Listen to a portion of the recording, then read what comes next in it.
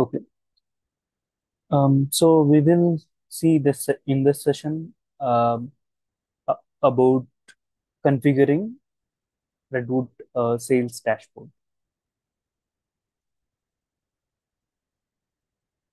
If we go to sales dashboard,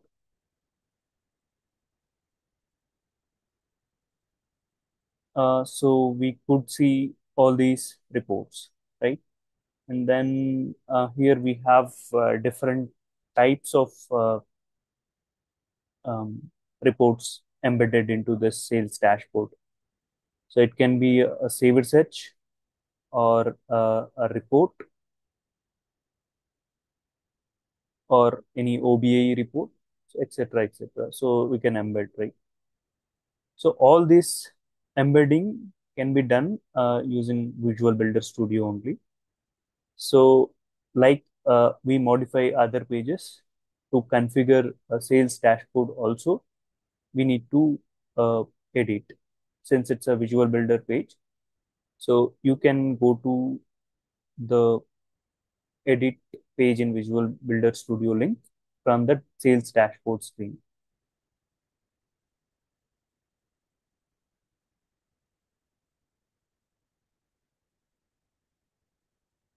And then select the project.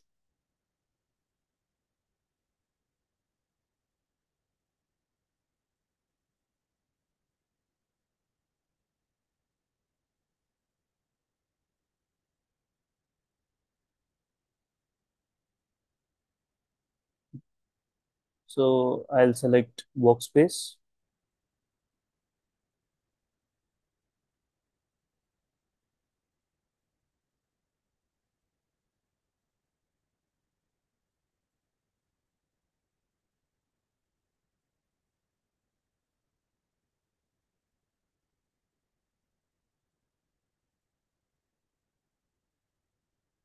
And it will open a, sales dashboard screen.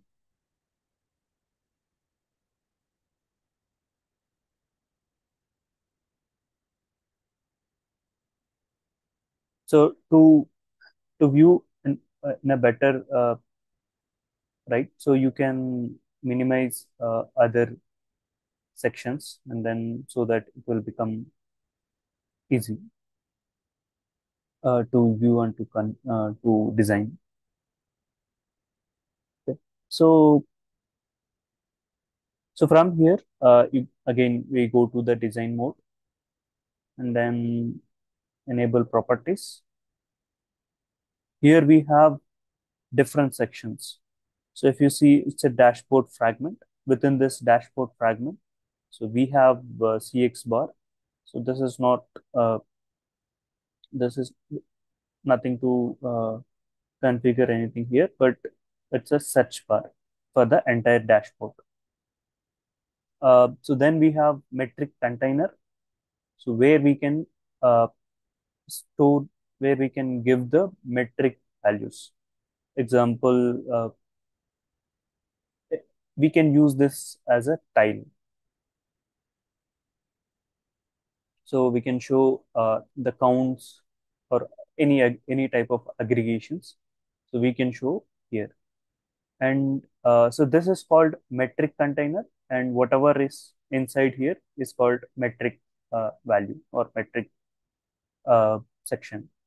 So each metric will have the, its own uh, aggregate. So if you go to live mode, uh, you can see my do my to do tasks and pipeline. So this is another tab. So we can also use uh, these tiles as a different tabs within this sales dashboard.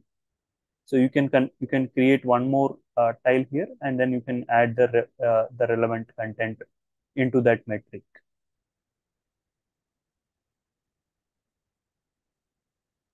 If you don't want metric, you can also just uh, give the uh, I mean, you can give the blank and just keep it as a tab. That's also fine.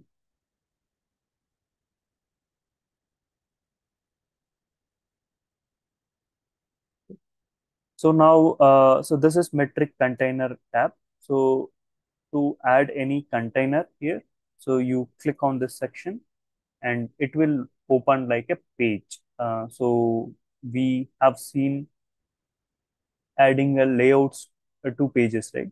Similar way, uh, we have the sections here. So here, if you observe, by default, it is uh, it is divided into two sections. Uh, these are out of the box uh, rule sets for sales dashboard to display the my to do tasks and pipeline. So basically, this metric container, right? So it has two different uh, uh, sections. One for sales manager and one for sales uh, uh, basically here. One for sales manager and other for sales representative but the condition is not available for sales representative so it will be available for, for all users. This is the default one uh, so let me duplicate the sales representative one as we don't have condition there. We can be able to preview.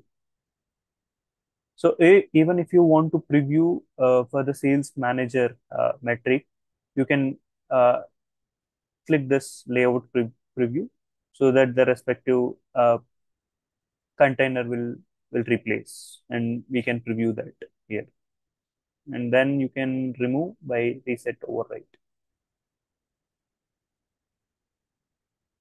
so now we have uh, we have duplicated the sales representative metric metric card and then uh, we have uh, two different sections. One for my to do metrics and that is this one. And the second one is sales representative pipeline metrics. So that is this pipeline uh, metric. Okay. So to add a new metric here you can go to uh, add section here.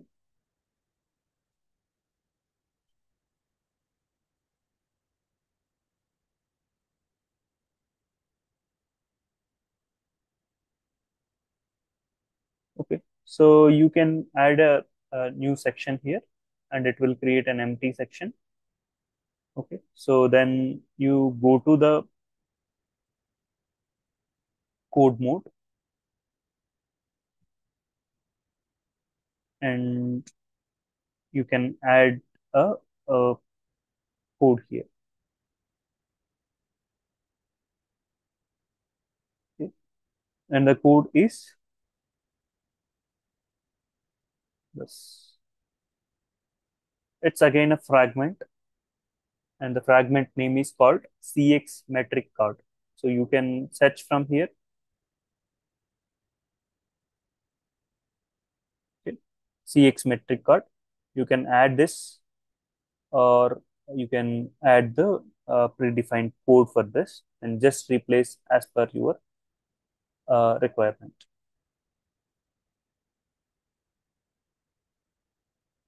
So now let me copy this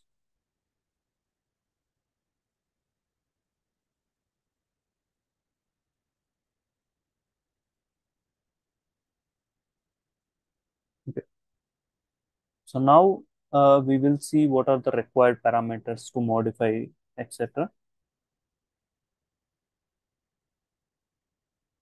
so the first one we don't need to we don't need to change anything here. That's fine. Then second parameter is resource. So this resource will tell you which object what is the primary key and what is the endpoint. So if you are if you want to add a, a metric for a different object you just need to replace this uh, name. So this is the rest name. So you can give that rest name. And primary key will be that id then query. So we will be using the save it search adaptive save it search save it search for this. Okay. So uh, the source for this is save it search so we will be using type as saved search adaptive save it search and then query U U UUID we need to provide. So we'll see how do how we will get how we can get this uh, query VV UUID for a specific uh, saved search. And then uh, the next parameter is for dashboard filters. So we have seen something like here, right? Time period. So to apply this uh, global filters, we can use this uh, dashboard filters uh, variable. We can pass that. So if you don't want to apply the global filters, so you can remove this uh, particular variable. Then badge item. So this shows something like uh, here you can see some critical, right? So if you want to display something like this, so you can add uh, that value here. And then title of that item. So that will be my to-dos or whatever. Uh, so you can give that title for that metric card. So these are all the required parameters to enable the metric card. Now you go to design mode or live mode. Okay. And then go to return to page.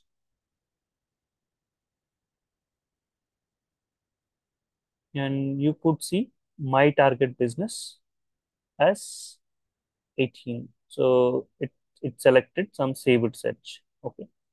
So now before that, we need to identify the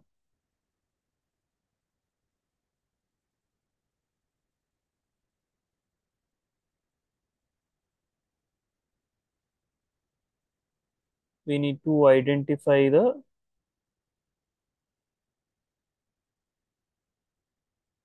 need to identify the UUID, right?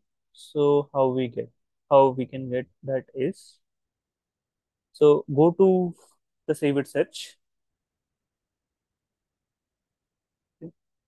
Uh, so if it is opportunity, so then go to opportunities. So you will you will see this particular uh, opportunity, open opportunity saved search, right? So it is open opportunities some saved search. Okay. Now uh, go to inspect mode and go to network.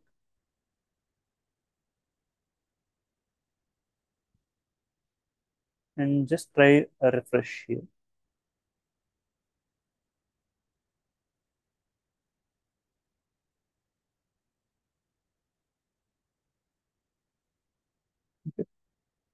So you will get uh, one with, with this kind of uh, format.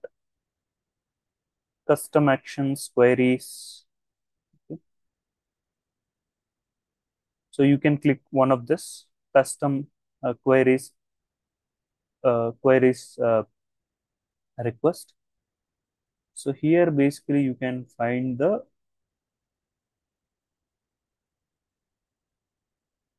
the UUID of uh, this particular saved search. You can see here,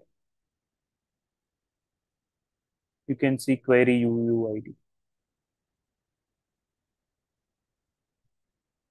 Now copy this.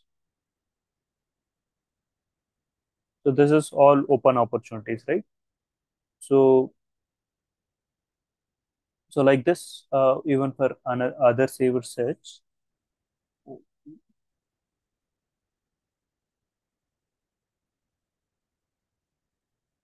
So you can you can see uh, for different saved searches, you can get the different uh, uh, UUIDs. So you can get those IDs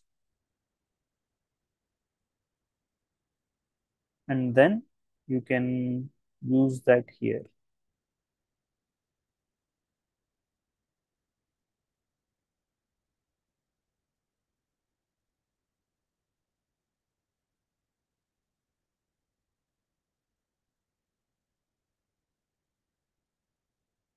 Now the count is changed based on that saved search.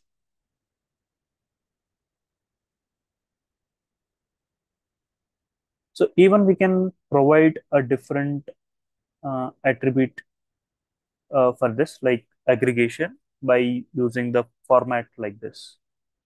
Uh, you can use aggregate here. Uh, if you click on properties and click on that particular uh, metric and go to the aggregate, so the default will one will take the count. So if you want to give a different aggregation here, so then you can just give in this format field and the API name of that field name and the function will be sum or min, max, count, etc. Average. So these these values you can take. So by default it will take count. So if you want any of others, so you can take one of this four.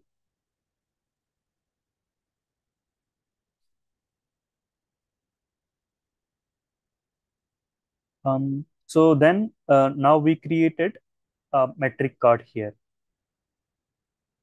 Okay. Now if you preview here,